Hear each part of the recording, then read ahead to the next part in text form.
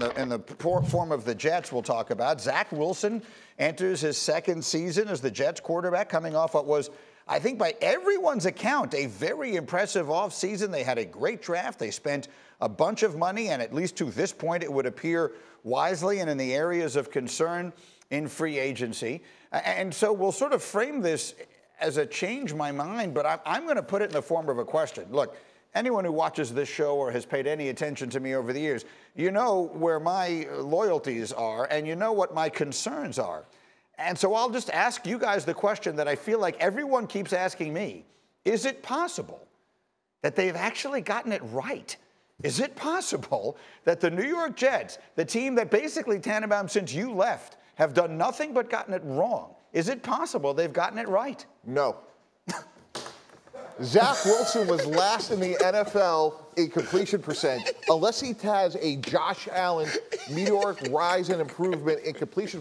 When you complete 55.6% of your passes, you can't win football games. I agree. They had a great offseason. They had a great draft. All the other pieces are there, Greeny.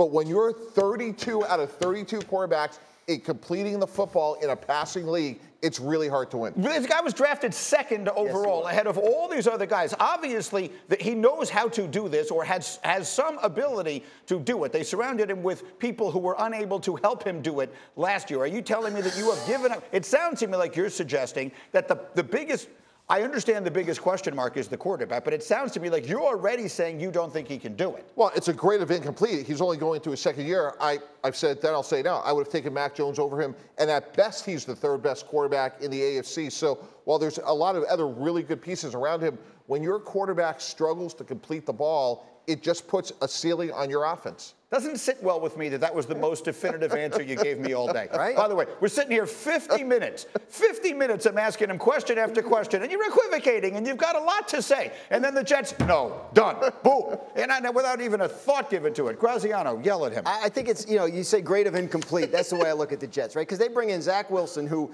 uh, young uh, rookie quarterback last year, also not super experienced coming out of college, right? Didn't, didn't have, you know, COVID and whatever else happened uh, as they were finishing college the coaching staff, incredibly inexperienced, right? Robert Saleh, first time head coach. Mike LaFleur, first time offensive coordinator. There was not a veteran presence in that locker room to help Zach Wilson or on that coaching staff. So they're all learning together.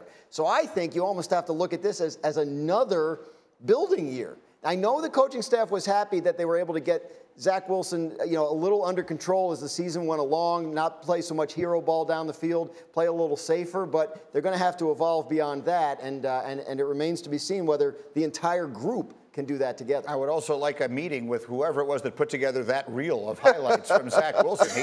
He, he did have six good plays last year. Why didn't we show those? Uh, Sancho, go. Hey, hey, I'm with Mike T on this one, Greeny. I'm sorry. That reel was just what happened last year. They were uh, they were 32nd in defense last year, Robert Saleh is a defensive-minded coach. I get excited about the moves that the New York Jets made. I get excited about Garrett Wilson at receiver. I get excited about Breece Hall, Jermaine Johnson. All these moves gets me excited.